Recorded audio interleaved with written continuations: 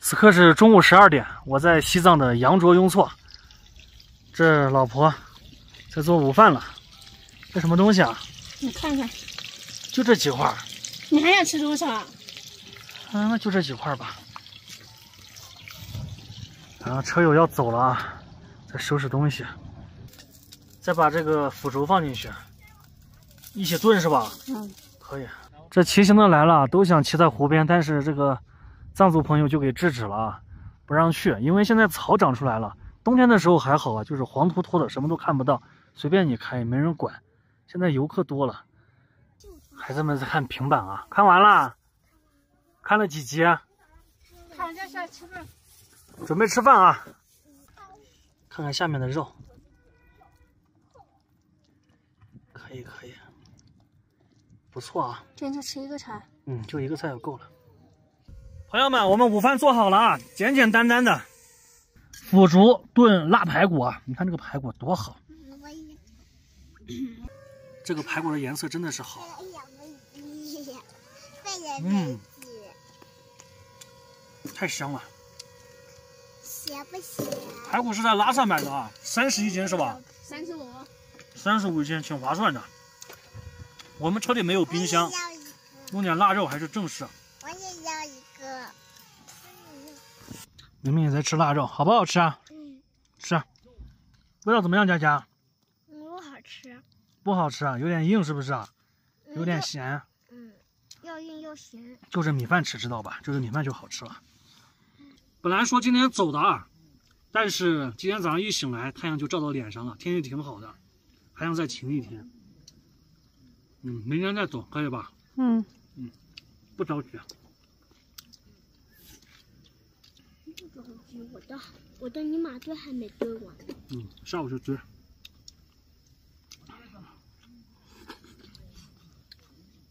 这来只狗啊，来，来吃吧，不要害怕。嗯，来来来，别害怕，吃。嗯，大黄狗吃的可以，哎，吃一个就跑了。我现在在西藏的羊卓雍措旁边了，身后呢就是羊卓雍措啊，简称羊湖。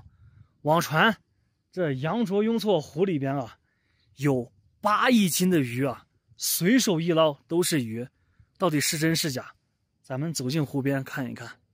目前呢是上午十点钟，游客还没下来，他们都在山上。然后呢，我就来到了湖边啊，看看这个草地上，各种各样的花，真的非常漂亮。这紫色的，下面呢是黄色的。咱们还是去湖边啊，看看有没有鱼。这湖边还是比较湿的啊，地比较滑。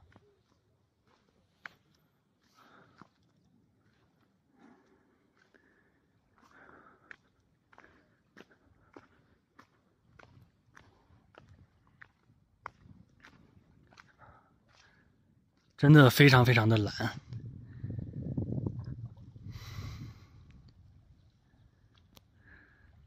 咱们看看湖里啊。湖边上是没有鱼的，湖中心我就不知道了。羊卓雍措里边有八亿公斤的鱼，但是没人敢捕捉啊，这个应该是实话。你像这个羊卓雍措是西藏三大圣湖之一啊，三大圣湖都哪三大？第一个就是这个羊卓雍措，第二个就是马旁雍措啊，第三个的话就是纳木错。羊卓雍措的大小好像是六百七十多平方公里啊，它这个湖面海拔。四千四百四十一米，朋友们，如果说你来西藏的话，有很多湖的后面啊都是雍措，但是有些湖也不是啊。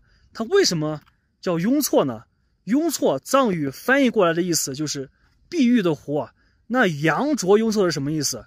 羊卓翻译过来的话就是珊瑚啊，上面的珊瑚。因为大家看一下啊，我身后在山上，我们是在山上下来的啊。如果你在山上看的话，这里啊，就跟那个珊瑚一样的，所以呢，连起来翻译过来的意思呢，就是珊瑚般碧玉的湖啊。最后呢，再说一下为什么没有人在这里抓鱼啊？因为藏族他是不吃鱼的啊，也没有这种垂钓的习惯，更没有说坐个船去打鱼啊，去电鱼啊，这些行为就更没有了啊。扬州雍措呢，海拔比较高啊，地理位置呢也比较偏。你像在这里，这些村庄就在湖边啊，他们也不会说是，哎，洗个衣服，去湖里洗个衣服，从来没有这种习惯的啊。去湖里洗个脸、洗个脚、洗个什么东西，从来没有这种习惯。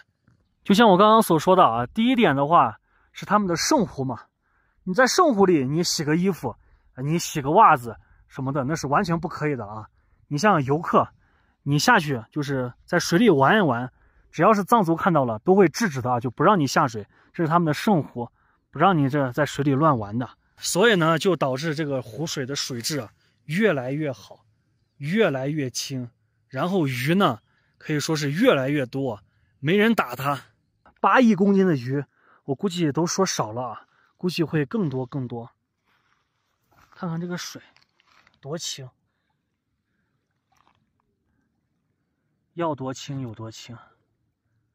不让下水，咱们扔个石头是可以的啊，捡块石头扔下去看一看。